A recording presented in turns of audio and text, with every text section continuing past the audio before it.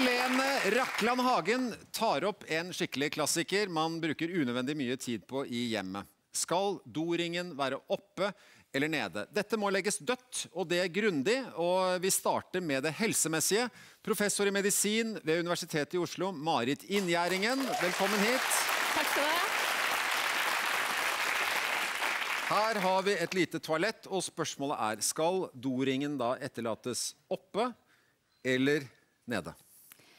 Ja, jeg er jo veldig opptatt av det hygieneperspektivet. Å unngå unødig bakteriespredning. Og på doringen så er det jo bakterier. Derfor så bør vi ta minst mulig på dolokket, nei, doringen.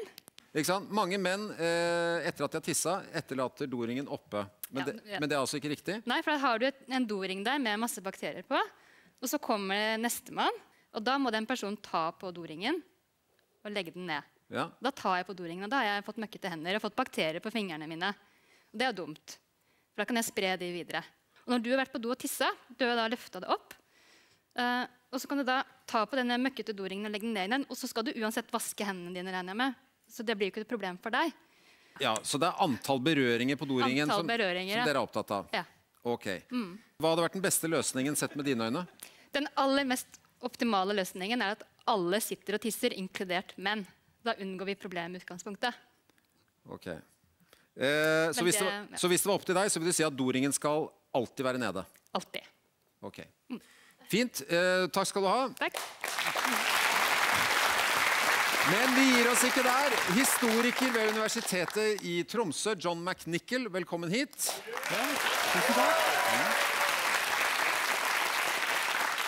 Du har kikket litt på dette, og da spør jeg deg også, skal doringen etterlates oppe eller nede?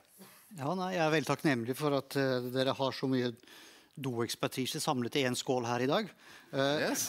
men jeg har jo da Og, dointeresserte vil kanskje dra kjensel på deg også, fordi at du figurerer i vår dorullvideo. Ja, det er Hvilken vei dorullen skal henge. Den skal henge ut.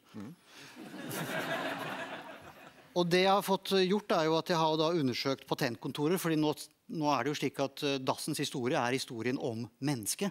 Men nå må vi fokusere på det moderne vannklosettet med porselens... eh, skål Ja. og en toalettring.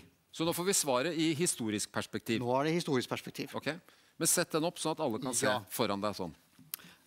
Det, er, det finnes mange varianter av disse. Dette her er en som ble godkjent av det amerikanske patentkontoret i 1936. Og jeg har tatt den med fordi her ser vi toalettringen.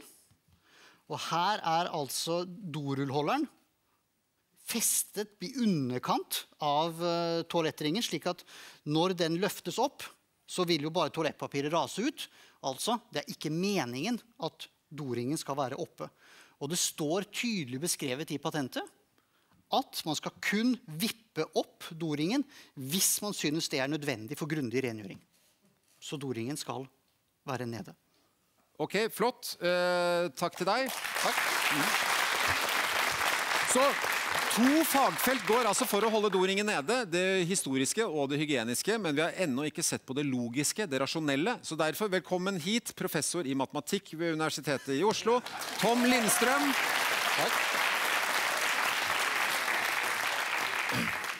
Ok, eh, hva mener du?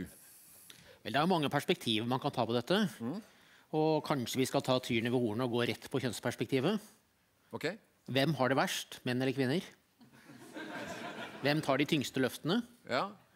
Og det vi må tenke på da, er eh, hvordan dette dolokket beveger seg. Så de går jo opp og ned, opp og ned annenhver gang. Så det vil si at i lange løp så går det like mye opp som det går ned. Og det er alltid menn som løfter opp. Så menn gjør i hvert fall 50% av jobben ved å løfte opp. I tillegg vil menn av og til ta den ned. Hvis en mann som skal sitte, kommer etter en mann som har stått, så må mannen ta den ned. Så menn gjør uansett mer enn 50 av arbeidet. Ok. Ehm, så, så menn gjør, gjør mer av arbeidet, men hva mener du da? Skal doringen etterlates nede eller oppe? Ja, Vi kan også se på det effektivitetsmessig. Altså, siden det er så mye diskusjon om dette, eh, så må det jo skyldes at folk syns dette er fryktelig mye arbeid å ta den opp og ned. Og hvis det er så mye arbeid, så gjelder det å minimere det arbeidet, altså jobbe minst mulig. Og da er det igjen sånn at man bare skal etterlate lokket slik det var da man var ferdig. Altså Har du sittet, lar du det være nede. Har du stått, lar du det være oppe. Og hvis man gjør det på den måten, så vil man bare flytte lokket når det er absolutt nødvendig.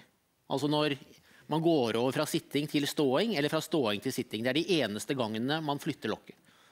Hvis man prøver å gjøre noe annet, så risikerer man å flytte det for mange ganger. Så din konklusjon er da La ringen være sånn som eh, den var når du var ferdig. Har du stått, la den være oppe. Har du sittet, la den være nede.